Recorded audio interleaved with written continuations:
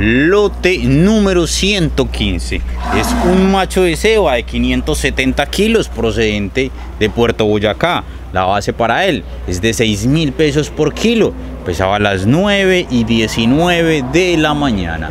Lote número 115. Es un macho de ceba.